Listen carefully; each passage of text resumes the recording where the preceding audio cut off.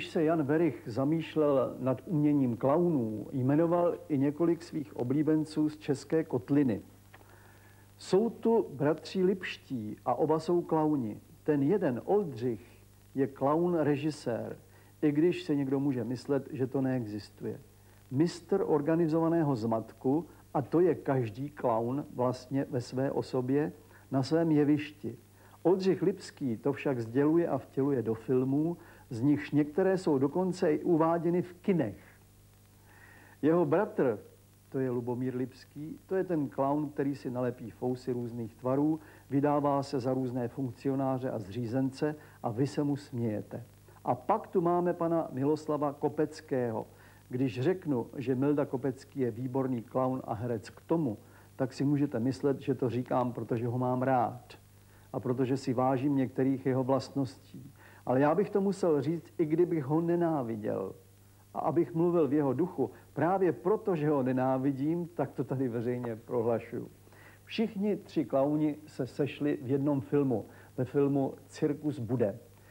Klaun první Oldřich režíroval a ti dva, Kopecký a Lipský Lubomír, se představili jako duo Papáto.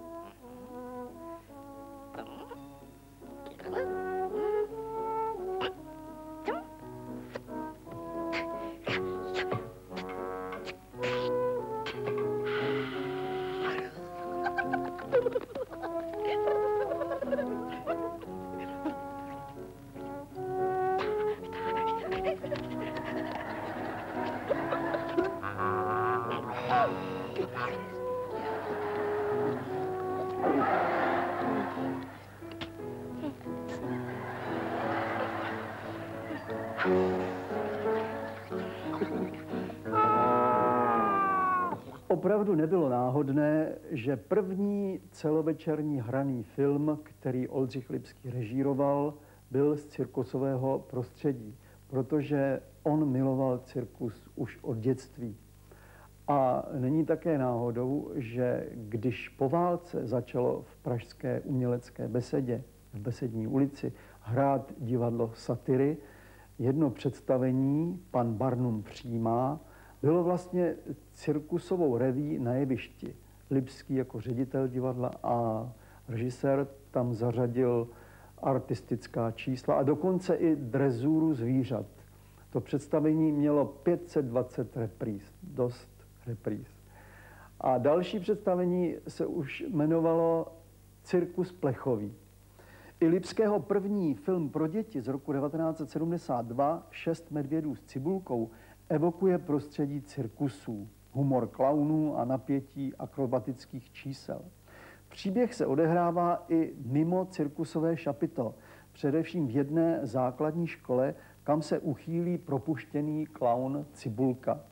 V převleku za kuchařku kraluje ve školní kuchyni, má tam vydatného pomocníka a jednou se za ním vypraví i medvědi.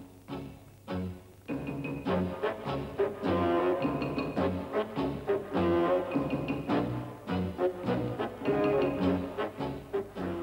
Lipský jednou prohlásil, klaunský gag v manéži se také mnohdy zříká textu a filmový gag postavený bez dialogu je ten pravý gag.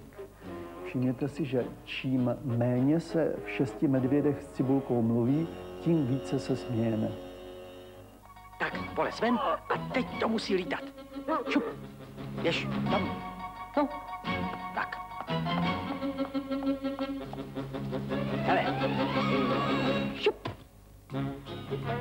Tondo mlíko, opatrně, tonoušku, opatrně.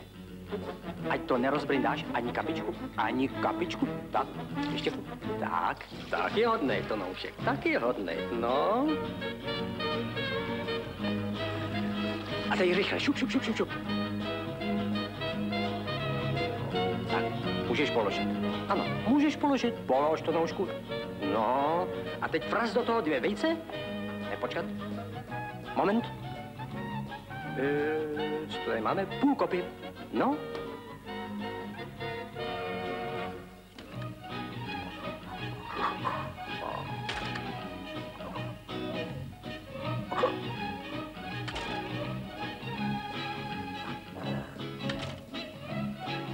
No vidíš.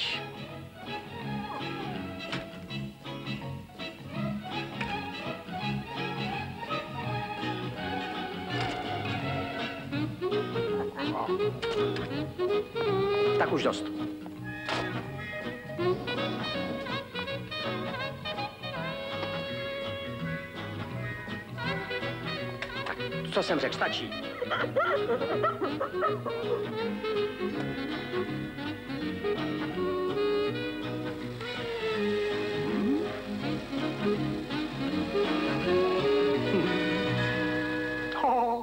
Když Oldřich Lipský po ideologické kritice česko-jugoslávského filmu Hvězda jede na jich nějakou dobu nemohl dělat hrané filmy, rozjel se s československým cirkusem do Japonska.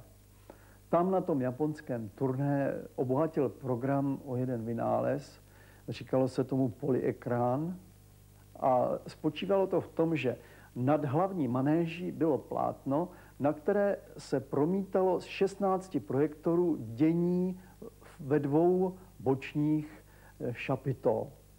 Japoncům se to líbilo a říkali tomu prý planetaskop. Československý cirkus putoval pak dál, dálným východem, Kambodží, Barmou a Indií a z celé té dlouhé pouti vytvořil Oldřich Lipský poutavý cestopis Cirkus jede. Bylo to v roce 1960, kdy byl uveden. Komentář k němu napsal Adolf Hofmeister. A to ještě neměl Lipský cirkusu dost. O 15 roků později filmoval v moskevském cirkuse scény pro film Cirkus cirkuse. Byl to zase koprodukční film. Iva Janžurová a Jiří Sovák v něm dokázali mluvit dokonce i se slony. Tak eh, toto je Bobby, profesore. Je nejschopnější. Eh, kdybyste něco potřeboval, Nikolaj je vám k službám. Přeji vám úspěch. Děkujeme vám. Především mě zajímá, co má rád. Za odměnu dávám zmrzlinu.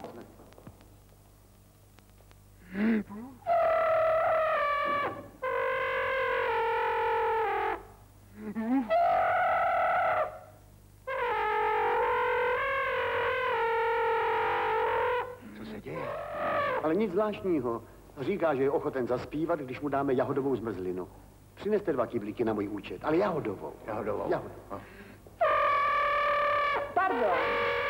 Pane kolego. Pardon. Jsem říkal, že má rád jahodovou zmrzlinu, ale s oříškama. Vodíška, hm. Drahý kolego, říkáte, že ovládáte Beckenbauerovou metodu, ale já bych vám nedala ani trojku. oh. Nerušte, prosím, paní kolegyně. Pardon.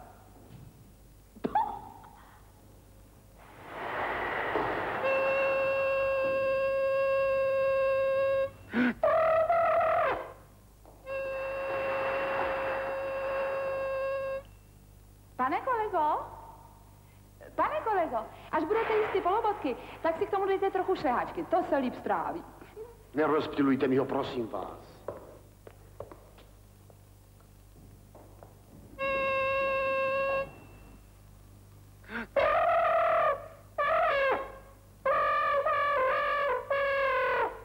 Dva kýble jahodový zmrzliny s oříškama.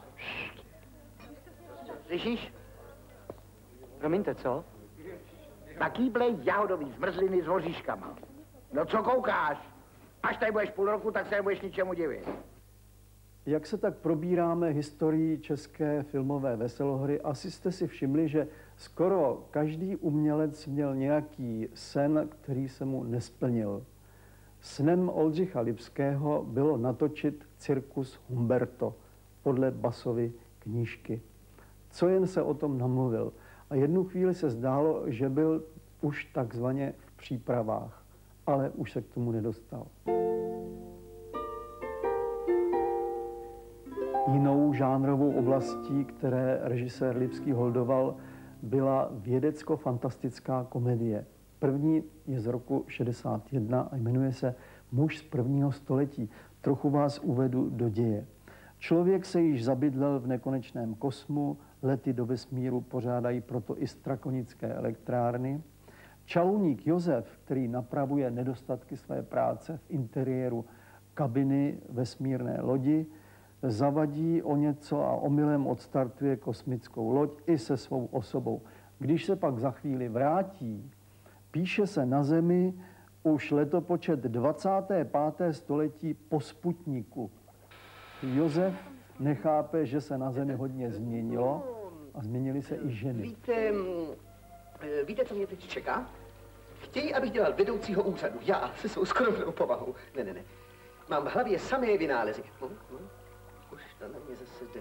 Eh, 18 bez 3 je 15 a 6 je 21. Ta hlava, ta moje hlava. Víte, co to je mít takovouhle hlavu? Ta hlava, o, počeškejte ji. To je také zvyk z vašeho století? Oh, vy máte pas. Není to ten pověstný Fauxpas? Madame? Víte, co bych z vás chtěl mít? Nevím. Sekretárku. Hm.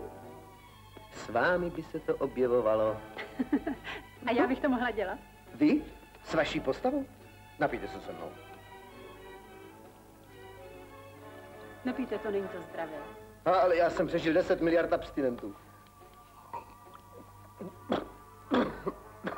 Opravdu nevím, co na tom vidíte. Znám větší požitky. Máte zkušenosti? Mám. Běžte do vestižárny. Tam to uvidíte. Napijte se se mnou. Uděláme si bez tížárnu tady. Netíží vás to, ne? Ano.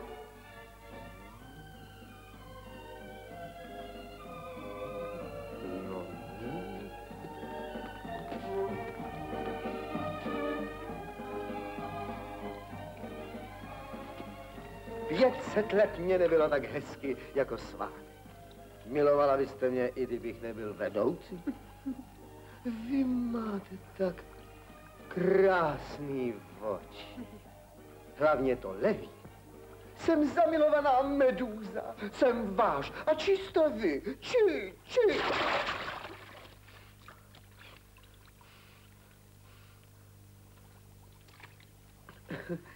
Takhle vždy milionáři trávili horké dny. Děkuji. To mi stačí.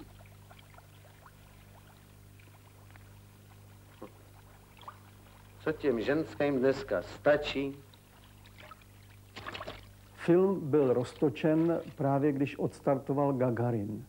Dokončeného muže z prvního století si pak dali promítnout sovětští experti, šuškalo se a dokonce se i vyšetřovalo, protože záběry startu kosmické lodi a hlavně záběry stavu bez tíže byly velice podobné těm s Gagarinem. Nechtělo se věřit, že je to výsledek dovednosti a fantazie našeho kameramana Vladimíra Novotného.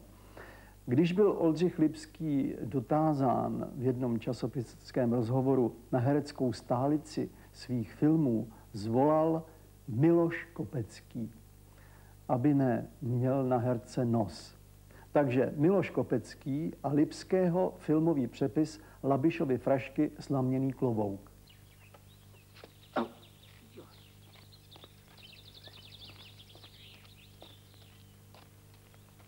Hezky čekat, Žužu. No, pán tu bude co nevidět. Kuku, kuku.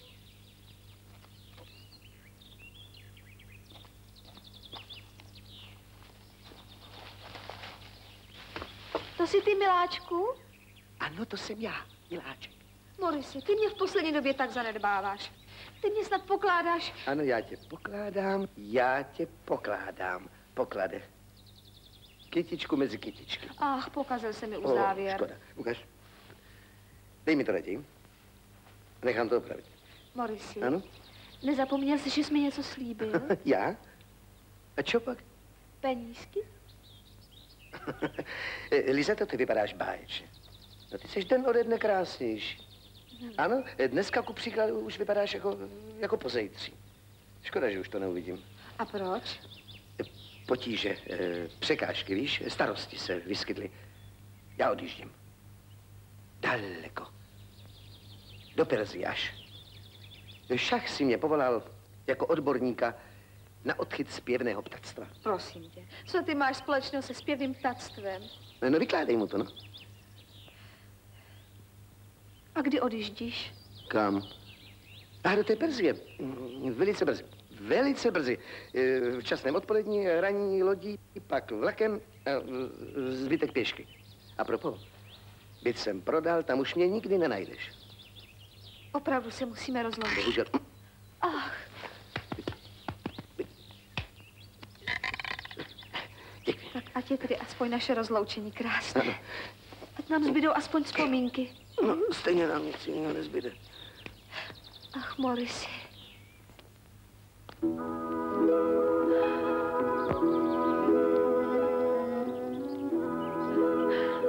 Bylo to krásné. Škoda, že tak pospícháš. Musím k pluku. Afrika čeká, ostatně. Tebe čeká manžel. Ach, ten odporný člověk. Kdybys věděl, jak trpím jeho přítomností. Právě tak jako on tvojí nepřítomností. Máš pravdu. Jeho žárlivost se stává chorobnou. Považ, posledně mě škrtěl. Zřejmě špatně. Co říkáš? Nic, nic, nic, nic, jenom aby si pospíšila. Kde mám klobouk? Dala jsi ho někam na větev.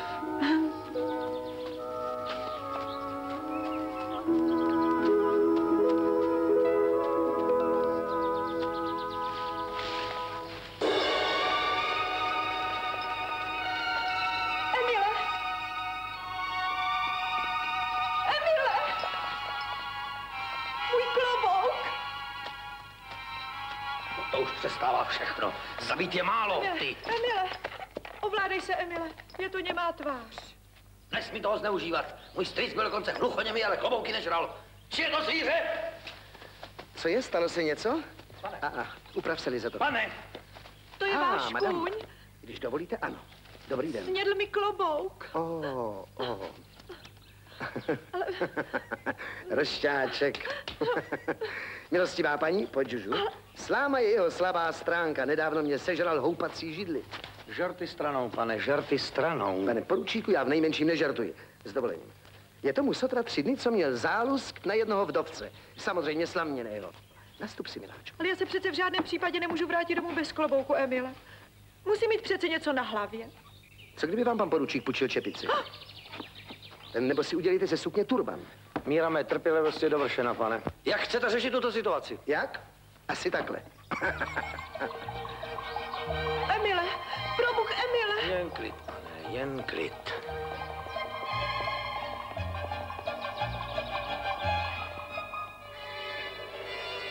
A ještě jednou Miloš Kopecký. Film legenda Limonádový Joe a postava legenda Hogo Fogo. Když uviděl limonádníka v Karlových Varech na festivalu Henry Fonda, doslova řekl, tak dobře jsem se už dlouho nepobavil.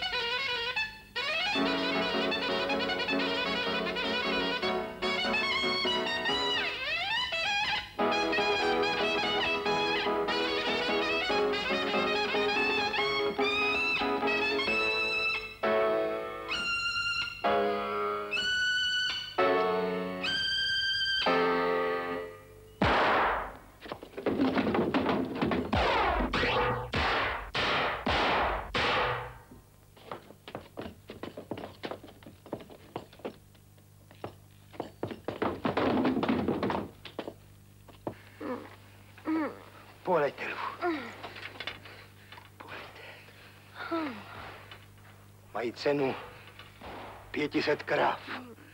Pomyslete, na každém oušku se vám houpá 250 dobytků.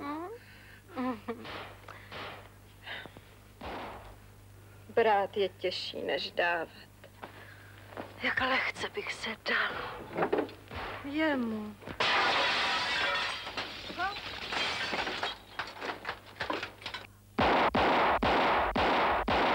Jen pro bílé černochu! Neblázni, je mi v patách.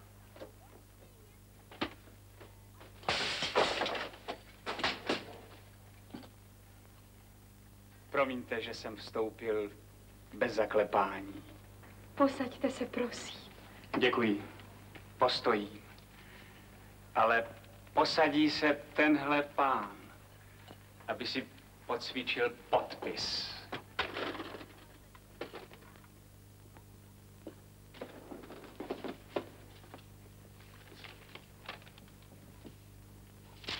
Tohle mám podepsat? Měl byste?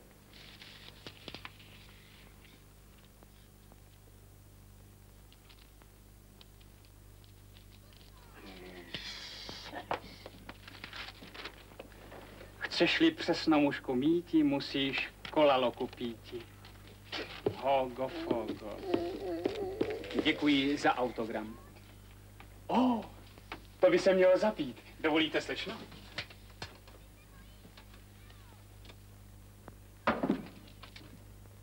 No což, doušek pramenité vody také neuškodí. Lihovina!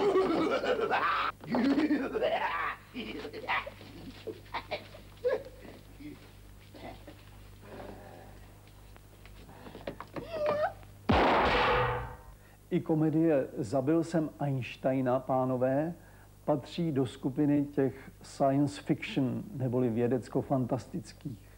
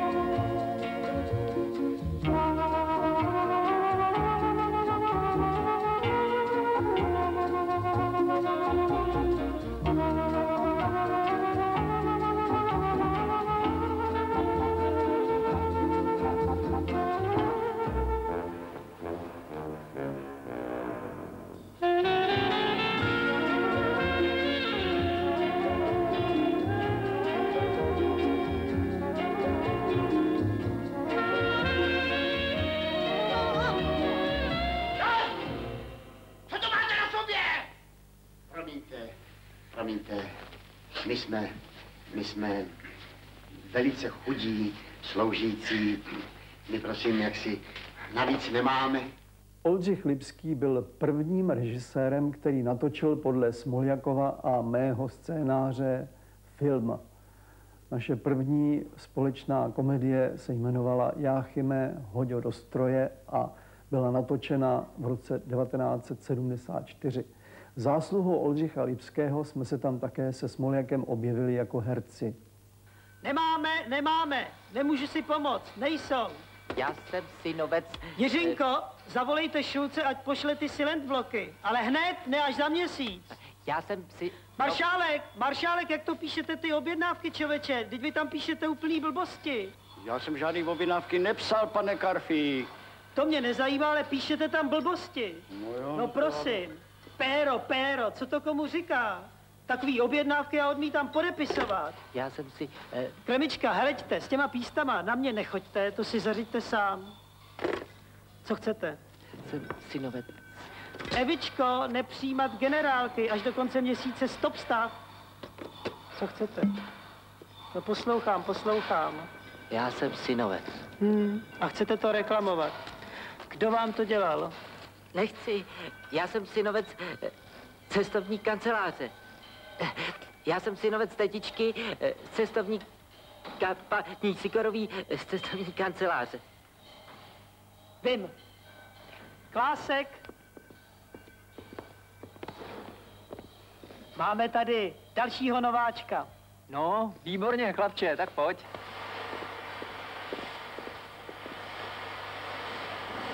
Tady se posaď.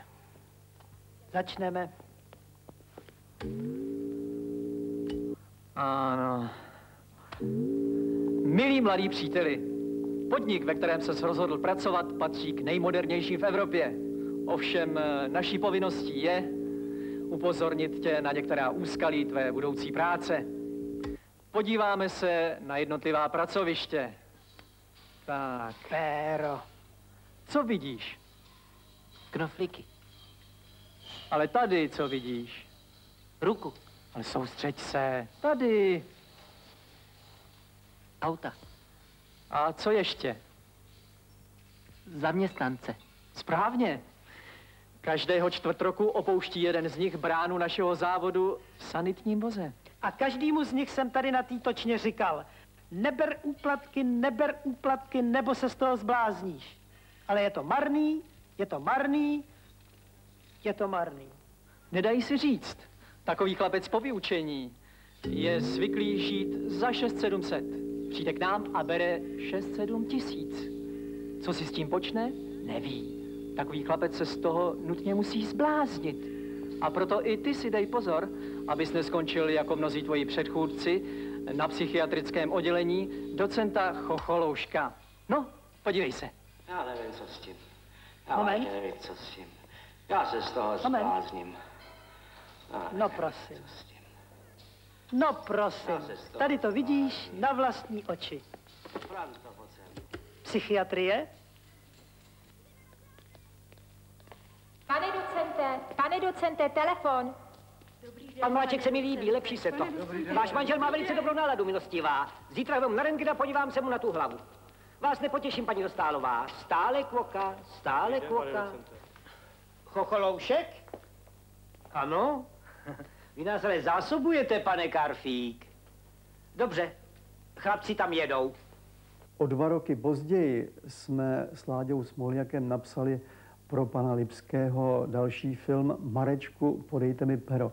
V těch eh, rozkazovacích způsobech v názvech se nám zalíbilo a jednou jsme vyzkoušeli Lipského smysl pro humor. Napsali jsme mu, že náš třetí snímek po filmu Jáchyme, hodě do stroje, Marečku, podejte mi pero, se bude jmenovat Čeňku, dej se vyfotografovat a cyklus uzavřeme snímkem Oldřichu, přestaň už točit. V roce 1977 natočil Oldřich Lipský další film pro děti. Byla to komedie muzikálového ladění s písničkami Jaroslava Uhlíře a s kouzelnými triky kameramana Novotného, kterému Lipský říkal důvěrně Mujínek. Film se jmenuje Adži duchové. Co se děje? Les mi hoří? Nebo řádí kulit hoří? Že mi pytlá klesní pich? Já tu meškám v pantoflích. Klidně si zůstaňte v domácí obuvi, klukům to nevadí, dívky vás omluví.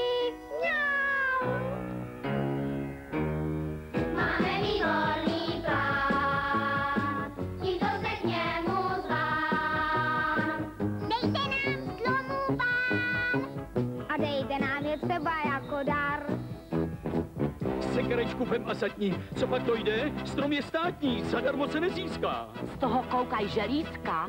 Slibuju za kluky, slibuju za holky, za každý strom dáme sto malých do školky. Tomu já říkám plán. Tím to je ujedená. Hajje lesa pán, je mládeži a zvěří milován.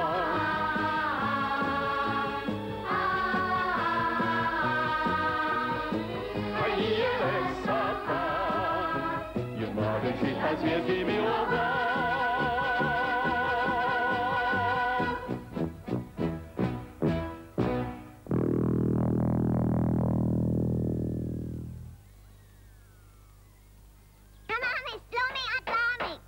Scénář komedie podle pohádky Jana Vericha Tři veteráni měl původně psát Jiří Brdečka, který si s oběma, jak s Verichem, tak s Lipským, dobře rozuměl. Ale osud mu nedopřál scénář stvořit a tak režisér Lipský požádal o spolupráci mě. Taky mi tam svěřil jednu z rolí, ale nevím, jestli to bylo zrovna moudré, hrát vedle takových velikánů, jako byli Hrušinský, Čepek, Somr, Lasica, Satinský, nebyl to med.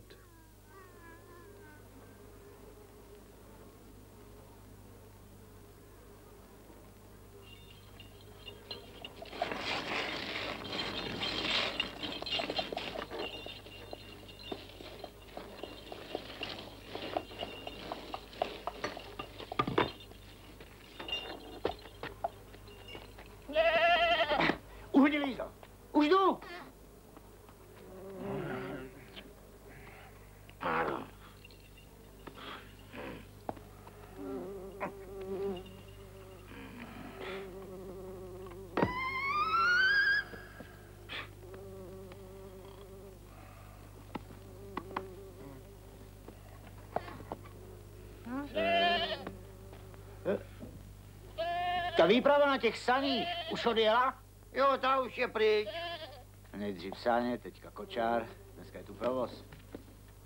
No. No. No. No. Eh. Cigarety nemáš? Jaký by si chtěl? S velbloudem. Eh. Zabavuje se. Máš ještě velblouda.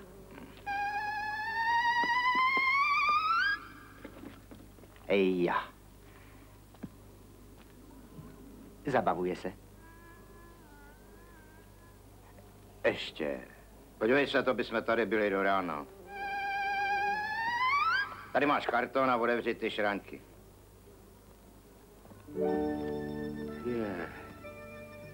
To si maloval ty celníku? Ano, pane. Je na prodej. Kdo to je? Bosana, pane. A to má ty oči opravdu tak daleko od sebe? Ještě dál, pane. Andělská mrcha. Kde bydlí? Jak se tam jede a kde se tady objednávají svatby? Kde by bydlela, když je to princezna? Tři zlatáky a je váš. No,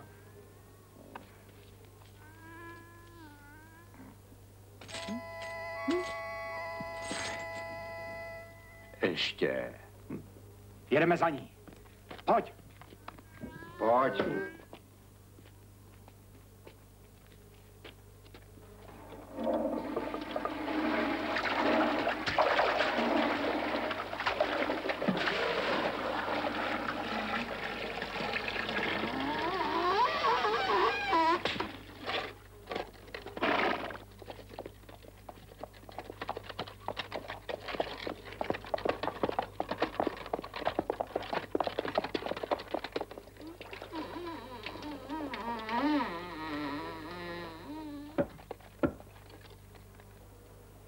Když jsem pracoval na scénáři Tří veteránů, netušil jsem, že píšu poslední scénář, který Oldřich Lipský natočí.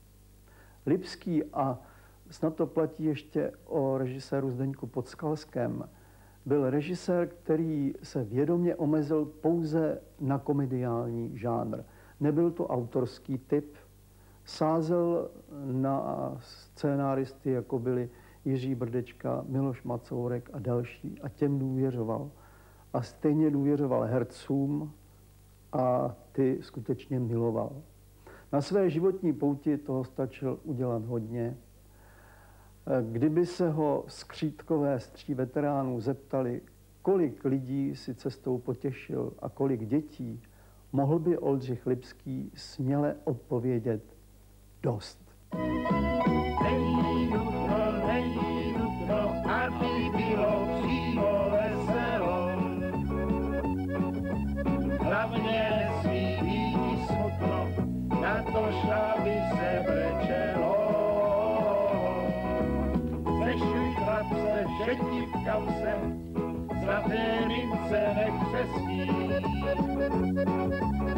Nem nincs rám